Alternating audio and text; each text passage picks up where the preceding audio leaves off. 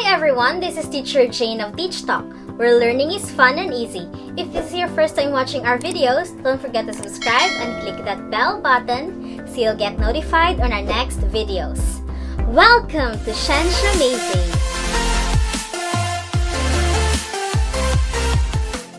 Kung saan pag-uusapan natin ang mga science concepts from grade 7 to grade 12, kasamang topics in general science, biology, chemistry, physics, and earth science. At dito, Bidang Agham.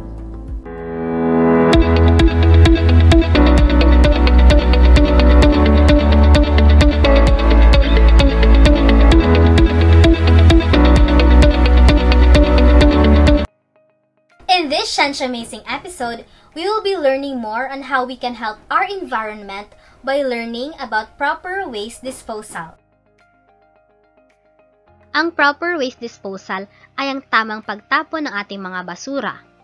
Ito ay ang awareness kung bakit dapat tayo magtapon sa tamang lalagyan ng ating mga basura at kung anong mga epekto ang may dudulot ng ating mga ginagawa sa ating kapaligiran.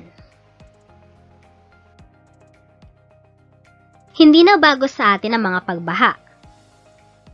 Kasabay nito ay ang paglitaw ng mga basura na siyang nagbabara sa daloy ng tubig baha sa mga drainage o kahit sa daanan o roads. Sa picture makikita natin na ang mga kalye ng mga bahay ay puno ng tubig baha. Bakit nga ba napakaraming basura sa ating kapaligiran? Ito ay dahil sa lahat tayo ay gumagamit ng iba't ibang bagay sa ating araw-araw na pamumuhay. Ngunit alam nyo ba na about 32,277,633 kilograms of garbage is generated every day in the Philippines?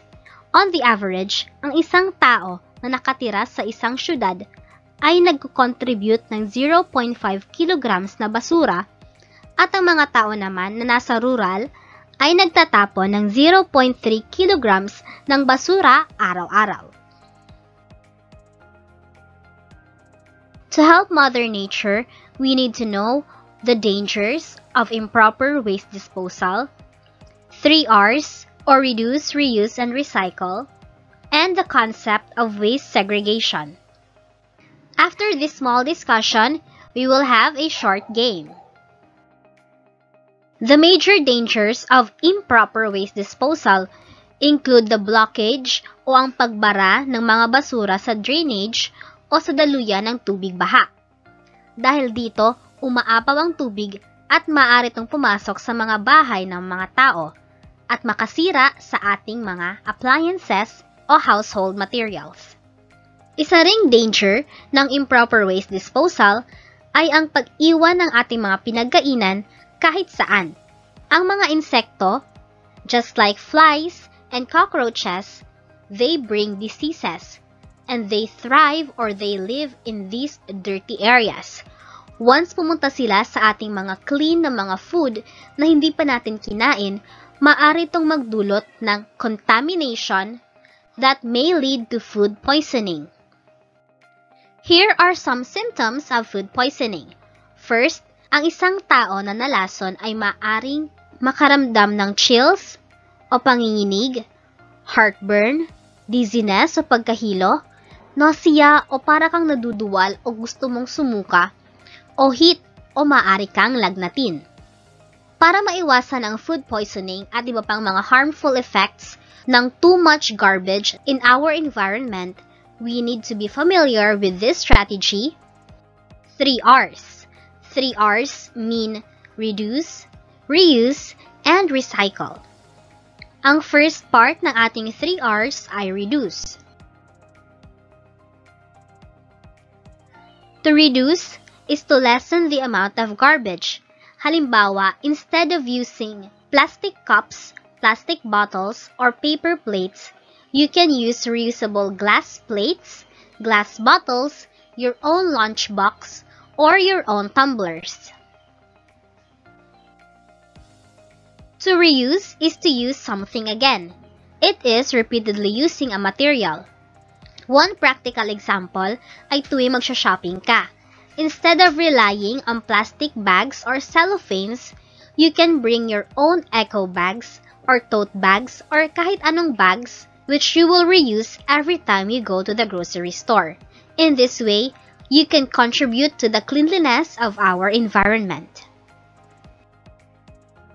The third part of our 3 R's is to recycle. This is the most fun part of 3 R's because in this way, you just add a touch of creativity. You simply think of ways on how you can use materials which are supposed to be thrown away into something new. For example, yung mga dating gulong ng mga sasakyan na hindi na ginagamit can be used to create benches, pwedeng gawing tables, o pwedeng gawing playgrounds ng mga bata. How can we make the concept of 3 R's work? We need to know how to segregate our trashes o kung paano ang tamang segregation ng mga basura.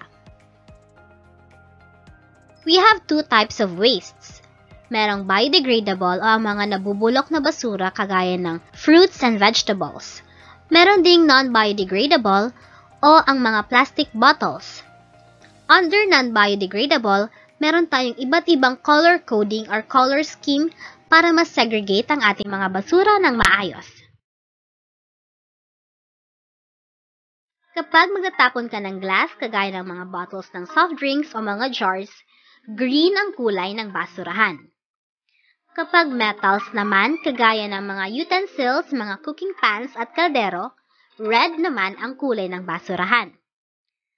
Kapag papers naman, just like newspapers, books, or cartons, itatapon mo dapat ito sa kulay yellow na non-biodegradable container.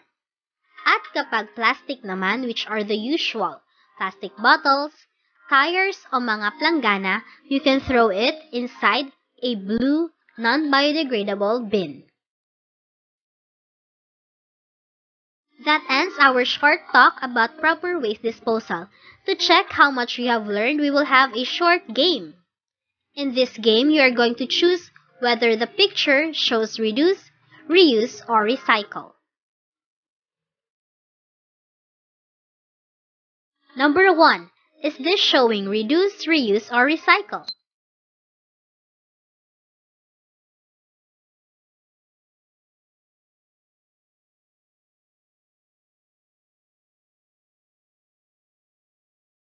The correct answer is recycle. The used plastic containers are recycled to become a pencil case. Number 2.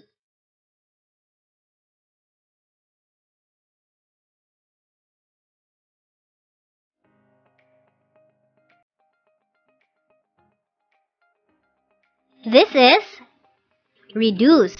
Instead of using plastic covers of fruits, you can simply bring your own pan para malagyan ng mga prutas at iba pang mga pinamili nyo mula sa palengke. Number 3.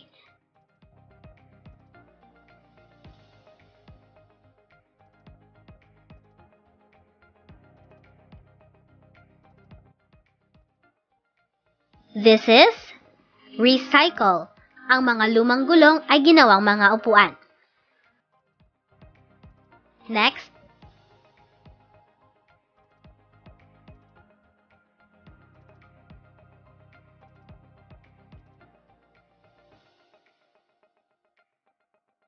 The correct answer is recycle. Ang mga used sachets of juice, coffee, and milk are used to create bags. This can be one of the income generating projects in our communities. You can earn money and you can help our Mother Nature all in one project. Our last item.